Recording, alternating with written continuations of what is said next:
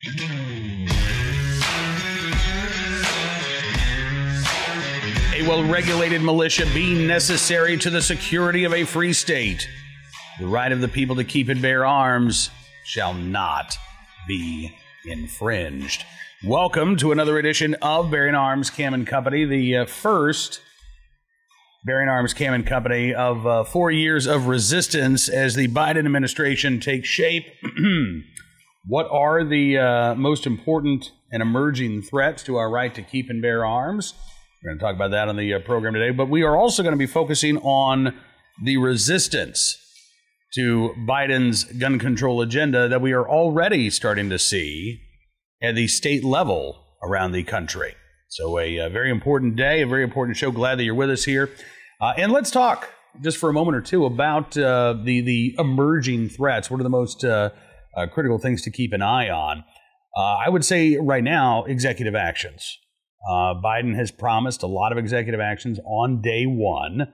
And at uh, Bearing Arms, uh, we've got a piece talking about what some of those executive actions uh, could look like. Biden, during his campaign uh, and on his campaign website, talked a lot about passing legislation. That's going to be difficult, if not impossible, for Biden to do, at least with the legislative filibuster in place. Uh, but there are some steps. In fact, there was one thing that Biden said specifically he would do as an executive action, and that is banning the importation of quote unquote non sporting rifles, what we would call modern sporting rifles. The uh, ATF says, no, no, no, no, no. These aren't, these aren't sporting uh, firearms under the Gun Control Act of 1968. Uh, and so these modern sporting rifles, AR 15s, other semi automatic uh, long guns, um, can be banned, at least the importation from overseas of these firearms can be banned. And unfortunately, Biden has some precedent to work with. George H.W. Bush did this back in the late 1980s.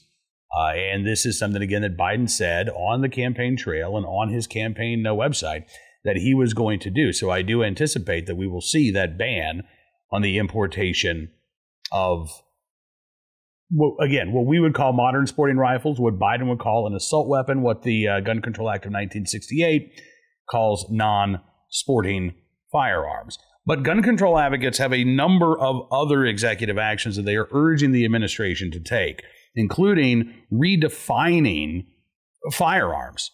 Uh, they want the ATF to redefine the definition of a firearm to include unfinished frames and receivers. So even though they're not a finished frame receiver, they they they they're not a firearm because they're a hunk of metal. Gun control advocates say, well, that's close enough. If it's 80% complete, that's close enough. That should be considered a firearm. It should have to have a serialized uh, uh, uh, identifying marker on it if it's going to be sold or possessed by any American citizen. Uh, so they're encouraging Biden to do that. They're also uh, requesting that the agency tighten its definition of what constitutes a firearm dealer. There is no bright line, uh, according to the ATF, as to when you become a firearms dealer. Basically, if you're making a living or making um, uh, some of your living through the buying and selling of firearms, you are considered by the ATF to be a federal firearms dealer and you should have a federal firearms license. If you don't, then you can be subject to prosecution. Um, this can sometimes happen, the ATF says, if you sell as few as two guns. Uh, but sometimes you could sell a dozen or more guns in a year and not uh, fall under those uh, terms that the ATF has uh, laid out. So, gun control advocates want a bright line established. Basically, if you sell more than five guns per year, they want you to be considered a federal firearms licensee, and you would have to go through the process of getting your FFL, paying several thousand dollars uh, to uh, to acquire it and maintain it. Um, that I think is going to be a stretch to do via executive action, but they're going to try. I have no doubt they're going to try. Uh, they are also asking the Justice Department to require gun dealers to notify the government before a gun is delivered to a buyer when a background check has yet to be completed. Right now, you wait three days. If there is no yes, if there is no no, uh, under federal law, firearms dealers can release those firearms. So now ATF uh, uh, doesn't have to be notified. Gun control advocates uh, want the uh, FFL or the seller to tell the government, hey, we're, we've gone ahead and we've released this firearm. Um, there are, uh, again, a couple of other action items that Biden could take in the early going of this administration. But as I mentioned, we are already starting to see resistance to this agenda, and not just at the local level. Uh, at the state level, we're seeing some really interesting moves here. A couple of days ago, Governor Greg Abbott in the state of Texas said that one of his top legislative priorities this year is making Texas a Second Amendment sanctuary state. Now, Abbott was not the first to call for this. As a matter of fact, as a former Oklahoman, I do have to point out that uh, Senator Nathan Dahm uh, from Broken Arrow, Oklahoma, actually proposed making the Sooner State a Second Amendment sanctuary back in November of last year. Uh, so this is not just Governor Greg Abbott uh, calling for this, but I said when Abbott uh, declared that this was one of his top legislative priorities that I anticipated that we would start to see other states follow suit. Uh, and we have, actually. Here are just a couple of other headlines. This from uh, Arizona. Arizona Republicans file Second Amendment sanctuary bill to ban state aid in federal anti gun activity. Uh, here's one from Missouri. Missouri senators hear testimony about the Second Amendment Preservation Act. So we have a number of states that have at least introduced uh, measures that would turn the in, entire state into a Second Amendment sanctuary. What's what's interesting is that there are a couple of different arguments that are being used. There are a couple of different versions. So, for instance, uh, Governor Abbott wants Texas to be a Second Amendment sanctuary state. In Missouri, uh, the legislation is called the Second Amendment Preservation Act, and in essence, these two arguments, the, the, the two main arguments, um, the Second Amendment sanctuary movement bases itself in terms of how it wants to resist unconstitutional gun control measures, bases itself on the idea of sanctuary cities for illegal immigrants, or, or even California's sanctuary state law dealing with illegal immigration. The other way of going about this is to make a 10th Amendment argument to say that, well, the federal government doesn't have the right uh, to try to infringe on the uh, uh, ability to keep and bear arms. And so we're going to resist uh, any and all uh, federal gun control measures. I'll be honest with you. Um, from a legal perspective, I think the sanctuary route is on more solid legal footing uh, for a couple of reasons. One, you go back to the 1980s, and there was a Supreme Court case um, called Prinz, P R I N Z. And the challenge at that point was whether or not, or the question that was raised at that point was whether or not states and localities are required to enforce federal law, uh, or whether that's up to the federal government to do so. And the Supreme Court, in essence, said no, states are not required to enforce federal law. You can't impede the enforcement of federal law, but you are not required, as a county sheriff, for example, uh, to actively enforce these federal statutes, but you can't get in the way of federal law enforcement doing so. So we know that, again, states don't have to cooperate with federal laws. And by the way, that, that goes back in practice uh, long before the 1980s. Um, if you watched my speech for uh, Lobby Day in Richmond on Monday, I, I, talked a little bit about this, going back to at least the, the, the mid 1800s. Um, you can find this philosophy at work. When the Fugitive Slave Act was passed at the federal level in the 1850s, there was widespread local resistance uh, to federal enforcement of those laws. There was also resistance at the state level. We saw this with prohibition. We've seen this obviously with uh, illegal immigration. We've seen this with the legalization of marijuana at the state level while it's still illegal at the federal level. This is, again, a, a, a strategy that fits comfortably uh, inside of the Constitution and comfortably inside of statutes that uh, you know have already been litigated. Uh, we know that we can do this. We know that we have the right to do this. Second Amendment, excuse me, a Tenth Amendment challenge, on the other hand, is a little bit dicier a proposition, uh, legally speaking, based on existing court precedent. Uh, you know, the courts have found expansive powers for the federal government in the Commerce Clause, uh, and a, a, lot of the uh, preservation uh, ordinances. Uh, Kansas passed one, Montana passed one a few years ago. There are a couple of states that have basically said, look, what happens inside our borders uh, is up to us in terms of the right to keep and bear arms. The federal government has no place, says right there in the Second Amendment, shall not be infringed. Uh, and so it's up to us, the states, to set our own gun laws. There is no room for the federal government. These laws have rarely been put into practice. In fact, I, I don't really think that they've I shouldn't even say rarely. I don't think these laws have been put into practice. You haven't seen the state of Kansas, for example, uh, say, you know what, we're not going to uh, follow NICS. We're not going to use NICS anymore, or we're not going to pay any attention to the National Firearms Act. Uh, you want to own a full auto? Go for it. Uh, we're not going to say anything about it here in Kansas, and we're not going to uh, allow the federal government to step in and uh, try to prevent you from owning one we have seen uh, a couple of court challenges to the idea, generally speaking, that states can preempt um, the uh, enforcement at the uh, by federal authorities of uh, a federal law within certain states. That argument has not gone well for Tenth Amendment proponents, unfortunately.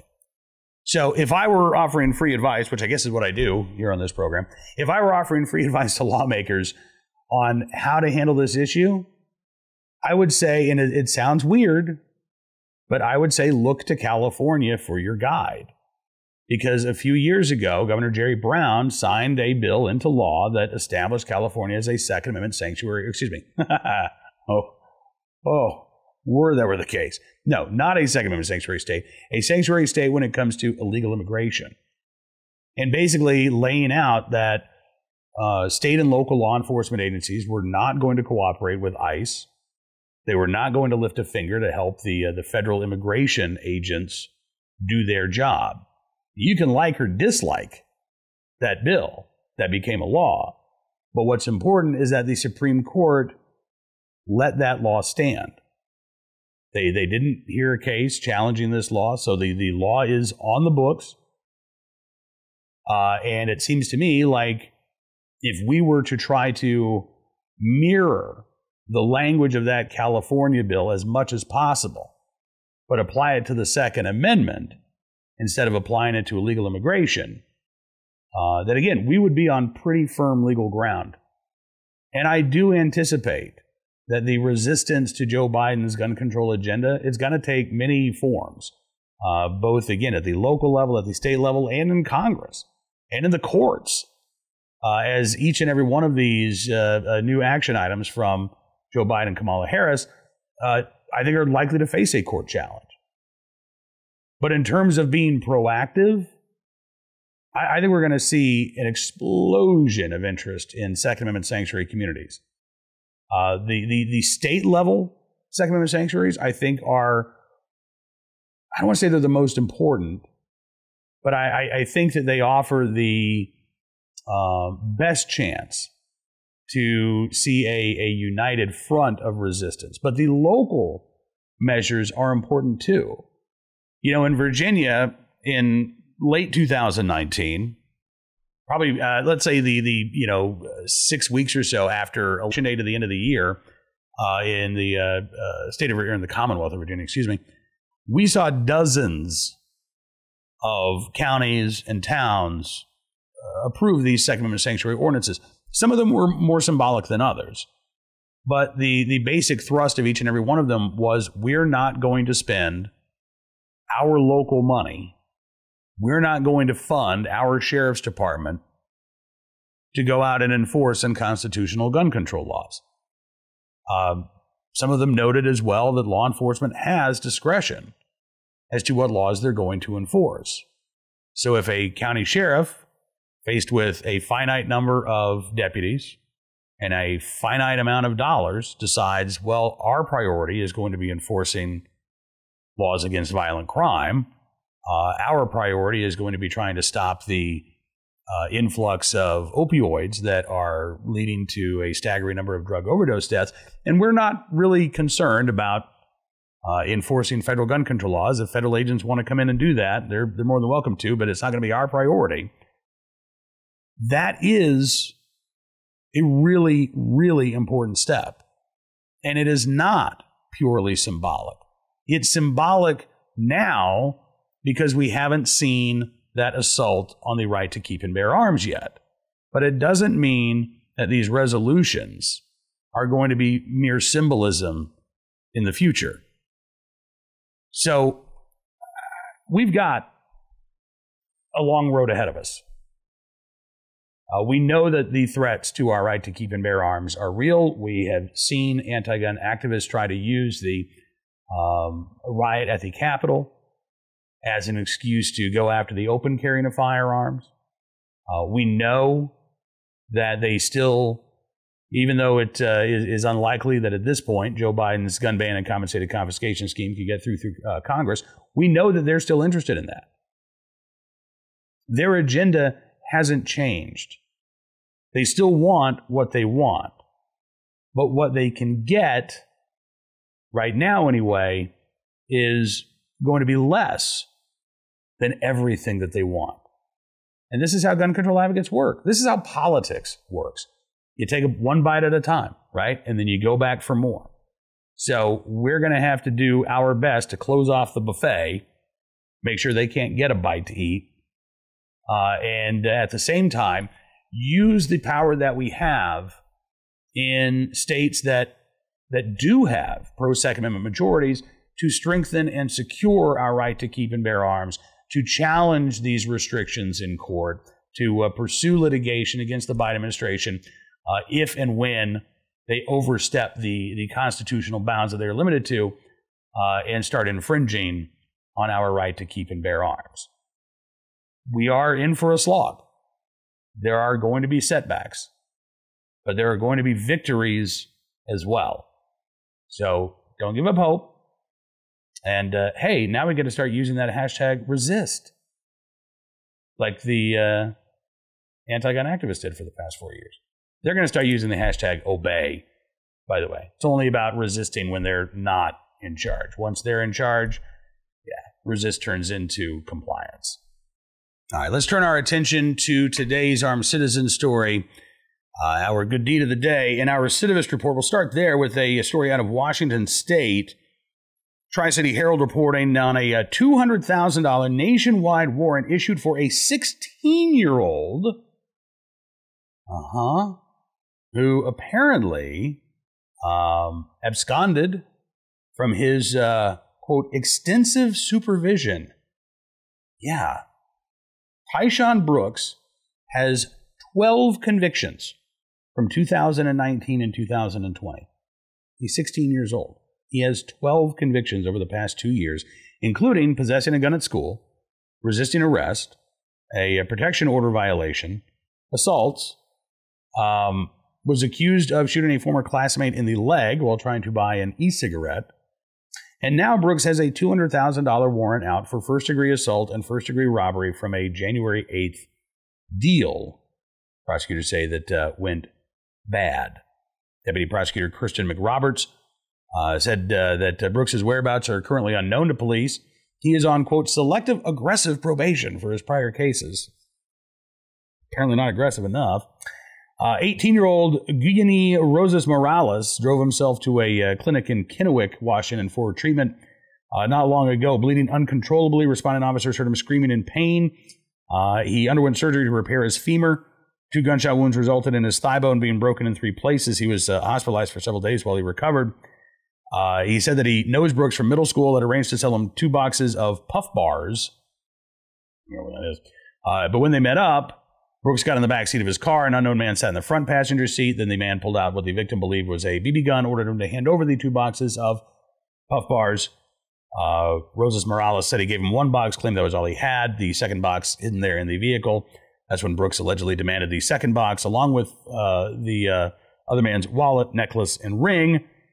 Rosas Morales said he refused because the jewelry had sentimental value. He believed that the older suspect's gun was not real. Said at that point he didn't know that Brooks was armed. Well, Brooks then got out of the back seat of the car, allegedly walked up to Rosas Morales' open window and shot him twice in the leg before he and the other suspect ran off. So again, now he's on the loose. They don't know where he is. 12 convictions over the past two years. Kind of makes one wonder why Brooks wasn't behind bars to begin with. Sounds to me like, okay, yeah, you, you, you give somebody a chance, right? We're going to give you a second chance. Are we going to give you a third chance? Okay, Tyson, we're going to give you a fourth chance. I don't think a judge should say, look, we're going to give you a 12th chance here. Not in a two year period. At that point, pretty clearly a threat to the community. And pretty clearly, uh, if his life is going to be changed around, it's not going to be through intensive or aggressive probation. Now, on to our armed citizen story, which I got to tell you is one of the craziest armed citizen stories that I've run across. Happened in Cypress, Texas, a few days ago. It was about uh, 8 o'clock in the morning. Um, homeowner uh, gets to his house, pulls in. Ricky Brandon's his name. Pulls into his driveway, gets out of his car. Three guys with guns run up to Ricky and start yelling and screaming at him. Ricky thinks this is a, a robbery. So he runs into his house, tries to shut the door and close it behind him, but they barge in after him. So Ricky then runs and grabs his gun, and a gunfight ensues. Now, Ricky's wife is upstairs, their grandkids are upstairs. His wife comes down the, the back stairs, is confronted by one of these armed guys, uh, and it said, uh, What he told us to get on the floor, he was going to shoot us. I was trying to tell him, What are you doing? Who are you? I have kids in the house. I have babies in here. Well, she and the grandkids eventually made it out of the house, but inside, the shooting still continues. Nobody was hit, amazingly enough.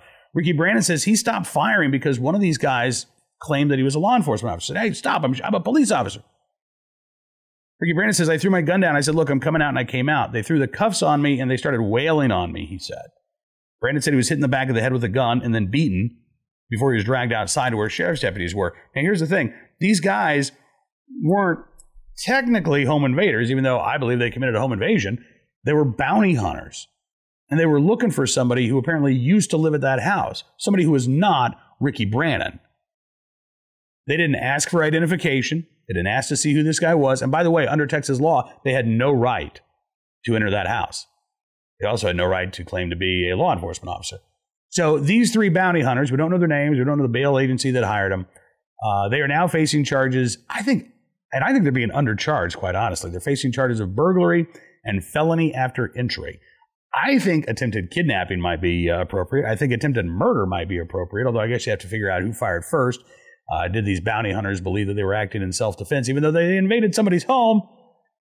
Uh, anyway, the bounty hunters are facing criminal charges. Ricky Brandon is not facing criminal charges. I hope Ricky Brandon knows a good attorney, and I hope he sues the pants uh, off of everyone involved in this incident where he could have been killed, his wife and grandkids could have been killed for no reason whatsoever, for a case of mistaken identity.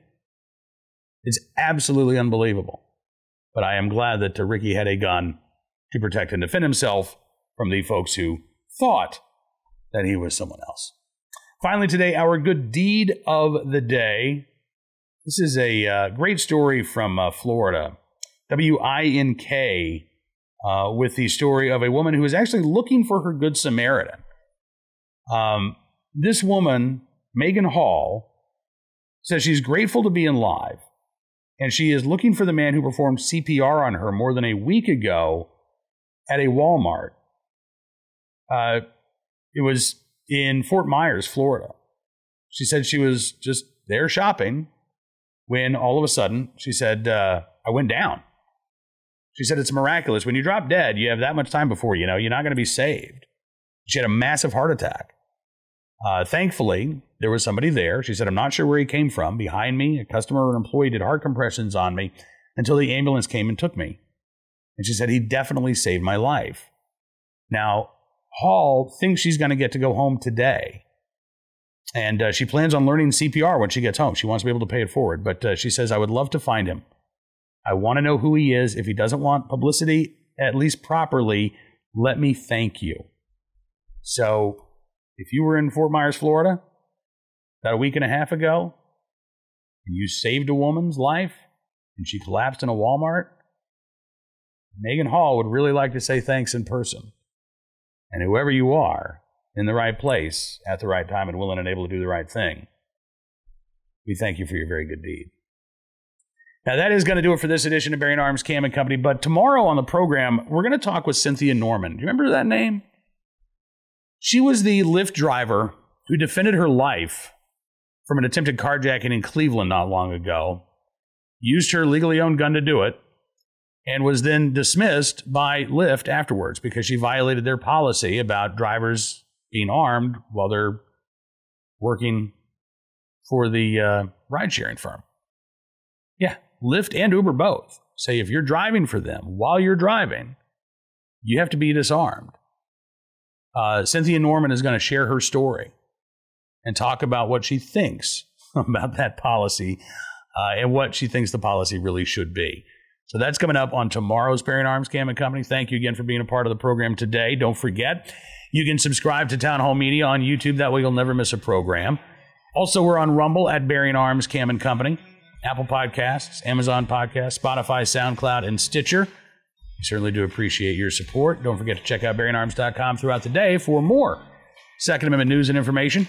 And we'll be back tomorrow as well. Until then, be well, be safe, and be free.